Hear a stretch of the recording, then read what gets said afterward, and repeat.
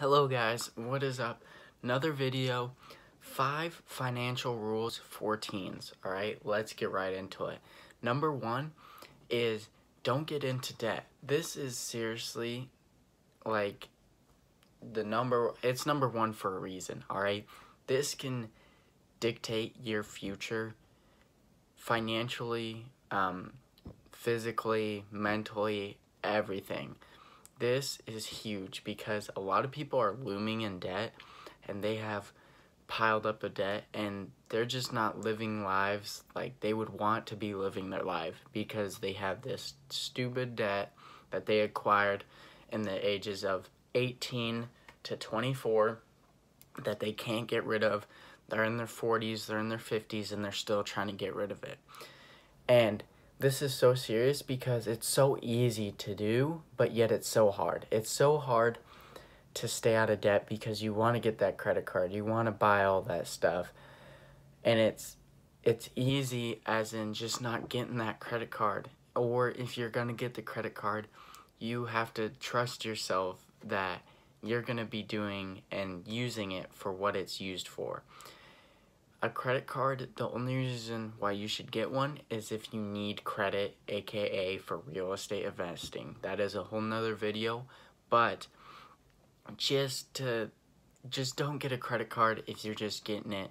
You can use a debit card, it will be fine. Don't get a credit card unless you need to build your credit. Uh, number two is save. This one's hard and easy at the same time. Uh, there's many different ways of doing this, but saving money is key. You want to have a stockpile of money saved up to help you.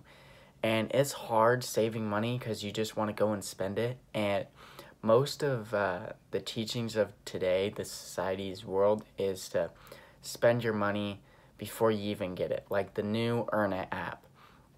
That app is so dumb because you're going to end up spending your money and before your paycheck and you're gonna have be charged a fee on your paycheck. So you're earning even less than what you would be just to get it sooner. Like that doesn't make any sense. If you want money sooner figure out a different job. Figure out a different way. Create a side hustle.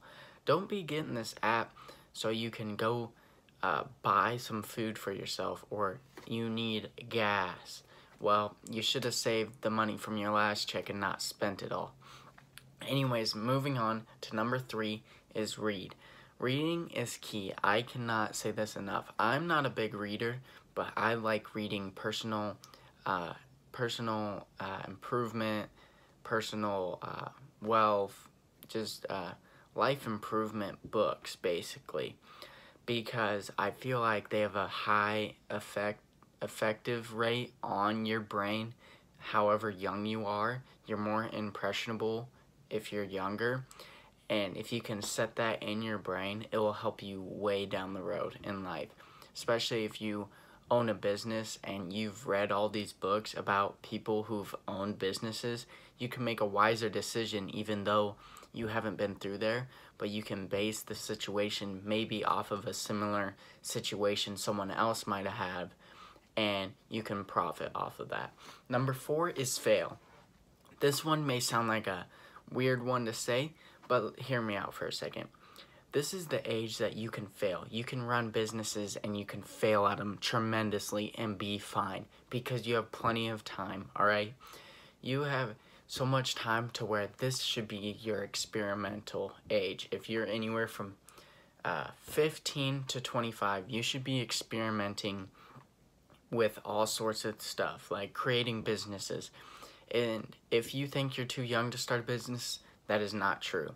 All right, I started my first business technically whenever I was 12. All right, you can do it too. All right, just you gotta you gotta be willing to go get it, and you gotta be willing to fail because whenever you fail, it teaches you the best of lessons. Whenever you fail. Uh, number five is invest. This is key. All right you saved up your money, you're not in debt, uh, you read the books, you failed a little bit. Now put the money in play, all right? Go invest in stocks, go invest in uh, your Roth IRA, go uh, try to save up for some real estate, start investing in real estate, and just invest your money instead of just having it sit there. Anyways, I hope you guys enjoyed this video. If you liked it, make sure to hit that like button if you really liked this video. Um, comment down below if you have any questions, and make sure to subscribe if you're a new viewer. Uh, see you guys in the next video.